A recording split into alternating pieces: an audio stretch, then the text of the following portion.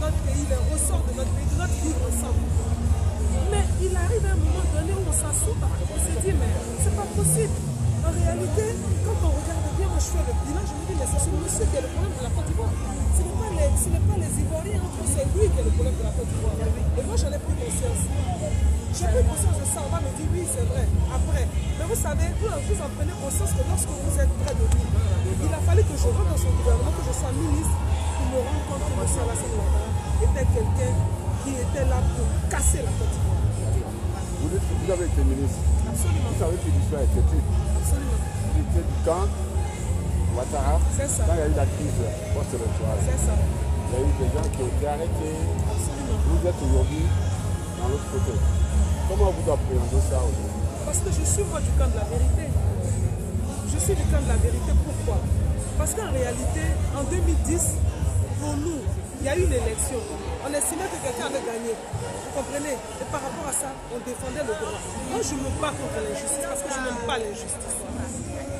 Voilà-t-il pas qu'à la fin, on fait un gouvernement? Je rentre dans le gouvernement en 2012. Et je me rends compte qu'en de 2013 surtout, jusqu'à ce que je sorte du Non, non, je ne suis pas là, j'ai pas caché. jusqu'à ce que je sorte du gouvernement, décisions étaient prises, J'ai pas caché. Décisions qui étaient prises étaient prises contre le bon sens. Je prends un exemple. avons décidé à l'unanimité dans un processus qu'un président élu en Côte d'Ivoire ne peut pas faire plus de deux mandats. Nous sommes nombreux les Ivoiriens. Parce que tu ne peux pas dire que tu es le plus intelligent, tu es le plus beau. Quand tu as fini ton temps, tu t'en vas? Les Ivoiriens se sont accordés sur ça. Donc quand toi, tu arrives, avec tout ce que le peuple a connu, avec ses morts, avec ses souffrances, avec l'absence de développement, qu'est-ce que tu te dis? Il est temps que le peuple avance. On est d'accord Qu'est-ce que tu fais? Le consensus est sur les deux, deux mandats. Moi, je laisse le consensus. Mais comment tu veux venir casser ce consensus? À la limite, si tu voulais casser ce consensus, viens le casser au moins en appelant tout le monde. Pour dire, bon, on a fait un consensus, est-ce que peut-être il n'est pas temps de changer? Mais toi seul, tu décides de changer le consensus. Le consensus sur lequel tout le monde s'est entendu. Non. Parce que tu es plus ivoirien que nous. Madame, madame euh, la ministre, madame l'avocat, nous savons que les écrite.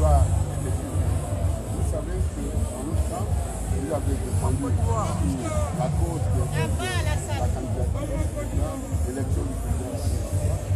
Moi, je ne rentre pas dans le dessin de celui qui accorde le carrément. Moi, ce que je veux savoir, savez qu'en tant qu'avocat,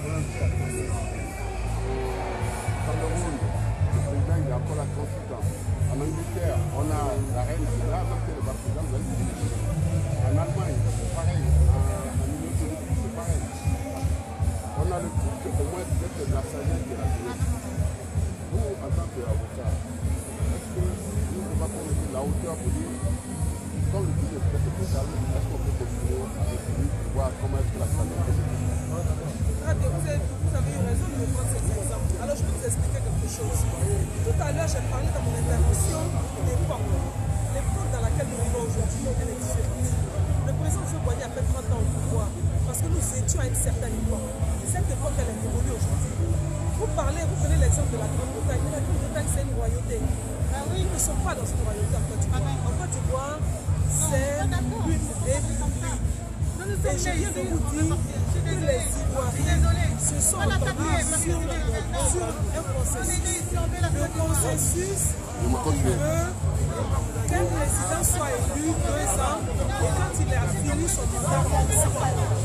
Donc, si on s'est entendu sur ce consensus, ce consensus, c'est lui qui est la règle. Et justement, je suis très bien placé pour vous dire. Dans la vie, là, on ne peut pas fonctionner sans règles. Sinon, c'est l'anarchie. Il faut des règles dans toute société. Et la, la règle que nous, on a donnée là, on dit c'est mandats. Donc, même si toi, tu es le plus intelligent, même si tu es le plus même si tu es celui qui a travaillé pour la Côte d'Ivoire, tu finis ton deux mandats, tu t'en. Maintenant, si les Ivoiriens disent Ah, on avait dit deux mandats, il faut qu'on revienne là-dessus. Mais c'est dans le cadre d'une nouvelle décision prise par l'ensemble des Ivoiriens, sans qu'on ne force qui que ce soit. Dit non, on décide de changer. Mais ce n'est pas le cas. Le souci, c'est que toi, tu veux être candidat, mais entre-temps, il y a d'autres Ivoiriens qui veulent être candidats. Et on fait comment? Entre-temps, toi, tu as déjà fait deux mandats. Entre-temps, la Constitution dit que toi, tu ne peux plus te présenter. Et ces Ivoiriens qui veulent être candidats, eux, ils ont le droit. Mais on fait comment? Je vous parle du droit.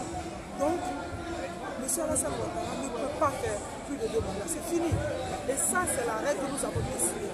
Donc, c'est important de le rappeler pour que tous nos frères sachent. Le RHDP n'arrête pas de dire oui, règle, hein, c'est le principe de non-rétroactivité. Je suis juriste, c'est pour ça que j'en parle. Qu'est-ce que c'est le principe de non-rétroactivité? Je vais en parler pour qu'ils comprennent. En langage facile. La non-rétroactivité, ça veut dire que quand on a fait une loi, on a écrit une loi, cette loi-là, le gouvernement ou l'Assemblée nationale propose la loi. Lorsque la loi rentre en vigueur, elle prend effet, c'est-à-dire qu'elle elle, s'applique à partir du moment où elle est rentrée en vigueur jusqu'au pour le futur. On est d'accord Donc la loi, là, elle regarde plus ce qui s'est passé derrière. La, Constitution dit euh, le président de la République est élu pour 5 ans, réélu pour un seul mandat. Ça, c'est 2016, la Constitution de 2016. La Constitution de 2000, du 1er août 2010, le président, article 35, le président est élu pour 5 ans, il est réélu une seule fois, et puis c'est fini. Quand vous regardez l'article 35 de la Constitution de 2000, l'article 55 de la Constitution de 2016, c'est exactement les mêmes mots. Même la virgule, c'est la même chose. Donc ça veut dire quoi? Ça veut dire que dans ce cas-là, parler de principe de, de, principe de non-rétroactivité parce que la loi, là, elle continue. Alassane Ouattara a été élu sous l'empire de la Constitution de 2000, en 2010. On est d'accord? En 2015, il a été élu sous l'empire, c'est-à-dire que quand je dis l'empire, c'est-à-dire au moment où la Constitution de 2000 était valable, puisque la Constitution, elle a été adoptée en 2016. Donc, ça fait deux mandats. D'accord. Je, je, reviens encore sur la question, je ne veux pas ça. J'ai compris le droit, vous l'appliquez. Vous savez qu'en 2016, vous ministre encore. Absolument. C'est vous qui avez voté cette loi. Vous ne vous attendez pas qu'il doit avoir un tel Pas du tout. C'est très bien pour me donner l'occasion d'en parler. Vous savez, il est temps de dire stop le mensonge lorsque Alassane Ouattara a décidé qu'on nous puissions adopter cette nouvelle constitution, Alassane Ouattara nous a dit clairement je ne suis plus candidat à une quelconque élection. Il nous l'a dit à nous. À quel, à quel, à quel, à quel En conseil des ministres. S'il ne l'avait pas dit publiquement, je ne serais pas là pour en parler. Parce que j'estime que ce qui a été dit. Je sais que, en tant qu'avocat, vous avez les preuves. Bien sûr. Mais j'ai une preuve. Donnez-moi la fiche. Voilà ce qui est dit dans ce document. Voilà ce document que je montre. Voilà le oui à la Constitution.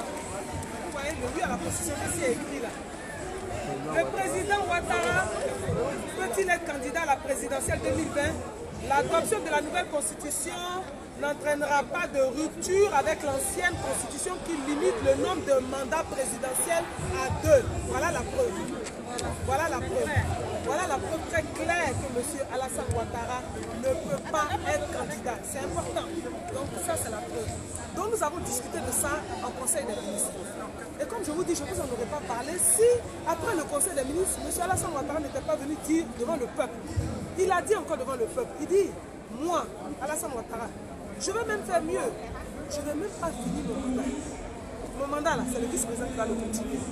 C'est-à-dire que moi, en 2018, là, je m'en vais. Vous vous souvenez pas de ça? Il a parlé devant une presse étrangère. Il a dit, je ne vais pas terminer mon mandat. Voilà ce qu'Alassane a dit. Pourquoi il a dit ça? Parce que nous étions en 2016, au moment où la Constitution, il fallait qu'on l'adopte. Tout ça là, Alassane a parlé, parlé en disant je ne vais pas me présenter. La Constitution finit d'être adoptée. M. Alassane Ouattara vient devant les, les, les, comment on appelle ça, à une cérémonie importante. Une cérémonie où il y avait tout le monde, les corps constitués. Lors de la présentation des vœux du gouvernement, des corps constitués, des ambassadeurs étrangers accrédités dans notre pays, Alassane Ouattara prend la parole officiellement devant tout le monde. Il dit moi, Alassane Ouattara, j'ai fêté mes 75 ans cette année. Je ne veux plus faire la politique. J'ai terminé. Après ce mandat-là, c'est fini. Je pars et je laisse le pouvoir. Tout le monde a applaudi. Tout le monde a applaudi. On était le 5 janvier 2017. Mais d'où vient-il que M. Ouattara commence à changer en disant non, la Constitution a dit que tous les compteurs sont remis à zéro. Mais où, où c'est écrit dans la Constitution que les compteurs sont remis à zéro? Donc Alassane Ouattara ne peut. Madame la ministre, je voulais aussi continuer dans la question, parce que c'est une occasion de vous avoir, on vous l'a c'est compliqué. Nous, la, constitution du 15 Mais, c'est simple.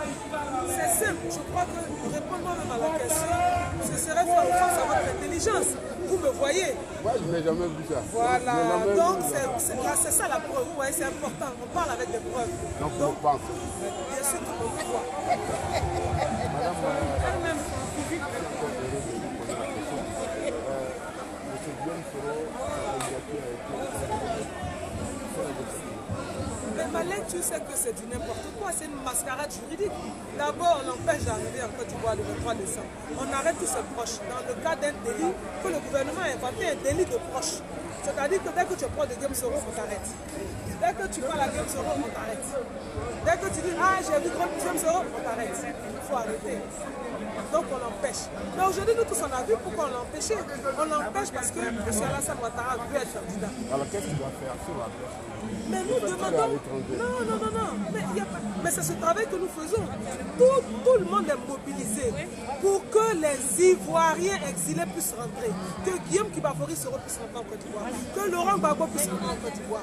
Que Blé Goudé puisse rentrer en Côte d'Ivoire. Qu'Akossi Benjo puisse rentrer en Côte d'Ivoire. Que Bamba Borifere puisse rentrer. Que tous les exilés, tous les enfants de pays rentrer dans leur pays. Et que nous fassions une élection transparente, juste, inclusive et que le meilleur gagne. Si tu es si fort que ça, va l'élection. Qu'il adressait un message à, pour dire qu'il fallait se rendre et que tout s'est passé en Côte d'Ivoire. Aujourd'hui, il est à l'extérieur. Est-ce qu'il n'y a pas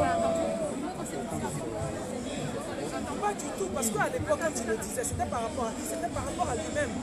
Il était à ce moment-là président de l'Assemblée nationale. Charles Blé Goudé est son ami.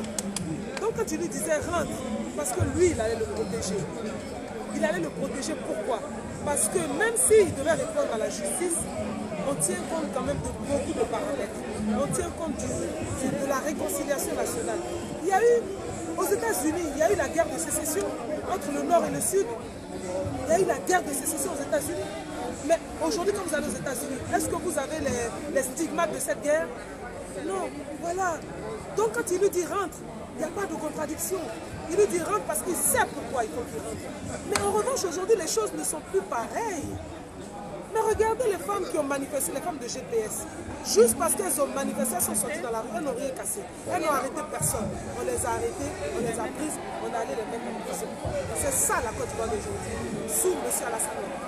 Est-ce que, vous avez la lecture sa condamnation quand on vous dit que monsieur Guillaume a volé la banque il a pris en, en, en- en otage la maison d'État, qu'il a revendue et qu'il a vécu la forêt. Comment, quand- lecture vous donnez Mais d'abord, c'est du n'importe quoi. Voler, voler quel argent Attendez, il faut quand même qu'on soit cohérent avec nous-mêmes. C'est pas moi, hein, moi je vous dis ce qui a été écrit. Et j'explique qu'il faut être cohérent avec soi-même. Quand on dit détournement de biens publics, il faut soi-même avoir détourné les biens publics. On a vu l'argent dans la main de Guillaume Soro Non. Donc il n'y a pas de détournement. Parce que tu, pour détourner là, il faut avoir détourné les biens publics. C'est-à-dire que sur ton compte, là, quand on regarde là, tu as pris l'argent du trésor, tu es venu mettre sur ton compte. On a vu que Guillaume qui va pouvoir a détourné l'argent pour venir mettre sur son compte. Non. Donc c'est faux. C'est faux, archi faux. La- Les preuves sont là. Monsieur Guillaume Kibakori Soro a logé dans une maison qui lui a été concédée lorsque le président Laurent Gbagbo, dans le cadre de la réconciliation nationale, a décidé que tous les hommes politiques aient une résidence, a fortiori lui le Premier ministre. A fortiori lui le Premier ministre. Il était question qu'on réhabilite la maison du Premier ministre qui coûtait 7 milliards à l'époque. Le président Guillaume Bafori se dit non, moi je ne peux pas habiter dans cette maison, 7 milliards c'est énorme. Je ne peux pas. On lui dit, il y a une maison qui coûte 1,5 milliard. On peut vous la réhabiliter rapidement. Et d'ailleurs, même à la fin, le président Laurent Gbagbo vous dit, à la fin, on va vous la donner. Parce que vous êtes quand même premier ministre, vous ne pouvez pas habiter à l'hôtel. Voilà comment les choses se passent? C'est important de le dire. D'après eux, ils ont découvert aussi des armes. Attendez, attendez. Ensuite, qu'est-ce qui se passe? On remet 2 milliards à M. Alassane Ouattara, qui n'était pas membre du gouvernement, qui n'était pas Premier ministre, qui n'était pas président de l'Assemblée nationale. Il reçoit 2 milliards. 2 milliards de CFA. À quel titre? Quel titre il reçoit les 2 milliards Je ne sais pas, Voilà. vous, c'est vous, l'avocat. Soro Guillaume reçoit de- comment on appelle ça, la maison de 1 milliard parce qu'il est Premier ministre. Il y habite. Qui paye? C'est le trésor qui paye, c'est pas Guillaume Soro. C'est pour ça que je vous ai dit qu'il n'y a pas de détenu. D'accord. Donc le, le trésor paye cette maison. Il y habite. Alors aujourd'hui, nous arrivons actuellement, et ça s'est passé quand? En 2007. Nous sommes quand aujourd'hui? En 2020. en 2020. C'est en 2019 qu'ils en ont parlé. Combien d'années après 2007, 2017. À supposer pas extraordinaire qu'il y a un délit, ce qui n'est pas le cas. Il y a la prescription. Il y a la prescription. Parce que le délai de prescription a joué. Or, ce n'est même pas un délit. Ça, c'est premièrement. Deuxièmement, le président Alassane Ouattara ne peut pas remettre en cause une décision qui a été prise par le président Laurent Gbagbo. Il était président à l'époque. Alassane Ouattara ne l'était pas. Pourquoi lui, il revient sur une décision qui a été prise par le président non, non, non. Si vous changez les donnes, ça veut dire que le président qui a été là avant n'a pas été président avant. Pouvez pas remettre en cause les lois que le président a prises. On va aller très vite c'est comme ça. Euh, vous êtes pas Je crois que c'est même pas, on ne va pas rentrer dans ça. L'État il dit, si c'est difficile, c'est pas difficile, c'est pas ça. Je suis là, je suis là pour le pays, parce que j'aime la Côte d'Ivoire. Comme tous ceux qui sont là, nous aimons tous notre pays. Et notre pays a besoin de nous. C'est-à-dire que nous sommes capables de faire tous les sacrifices possibles pour notre pays. Donc là, vous faites le sacrifice en ce moment. Mais bien sûr que je fais comme tous les Ivoiriens qui font les sacrifices, qui sont en exil, qui demandent à rentrer. Même si moi, on ne peut pas considérer que je suis en exil parce que je n'ai rien à me reprocher, je ne suis poursuivi de rien du tout, mais j'estime que ce n'est pas ma place ici, ma place est d'être dans Est-ce que, est-ce que vous avez peur d'être en exil? Je ne peux pas avoir peur d'être en exil. Vous savez pourquoi? Parce que moi, je sais que en tant qu'Ivoirien, ma place se trouve dans mon pays. Et je me battrai Bravo, bravo. jusqu'à la dernière goutte pour rentrer dans mon pays. Et je n'ai pas peur de l'exil. Je n'ai peur de rien. Rien ne m'effraie. J'avance. la, la dernière question. Vous avez dit tout à l'heure que les élections n'auront pas lieu. Parce que la Constitution, On ne a, veut pas. ouais, la, la Constitution a été bafouée, beaucoup de choses ont été bafouées. Est-ce que vous êtes au Nous sommes sérieux. Nous disons que tant que Alassane Ouattara ne fait pas ce qu'on lui demande mais on ne peut pas. Il faut qu'il fasse rentrer tout le monde. Il faut qu'il dissolve la commission électorale indépendante. Il faut qu'on en mette une en place. Il faut qu'on fasse un consensus de tous les Ivoiriens. Et puis on va à l'élection. Comme je l'ai dit, si M. Alassane Ouattara ne fait pas attention face au peuple souverain de Côte d'Ivoire, ne lui arrivera que ce qui arrive à tous les dictateurs. D'accord.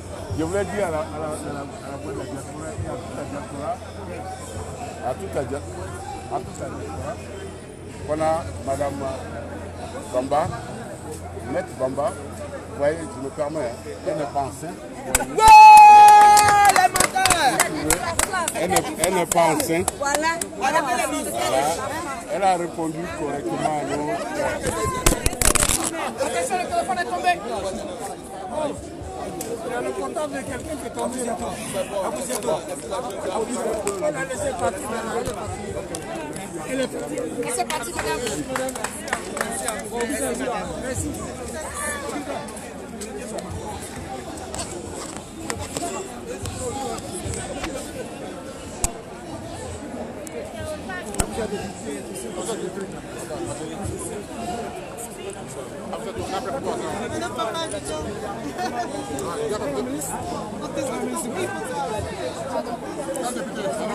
Il n'y a personne là pour elle. Sont Il est là? Il faut, t'apprêter. hein. Parce qu'on dirait qu'il n'y a personne là. Pour, pour la on dirait qu'il n'y a personne. C'est bon, c'est bon, laissez ma jumelle tranquille.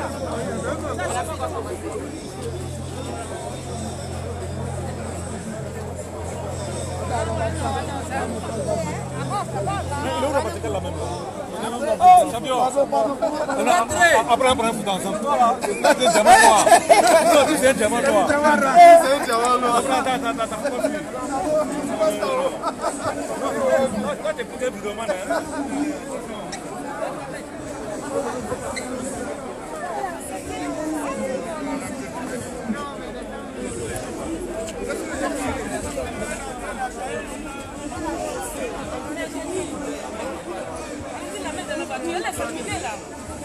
Voilà. André.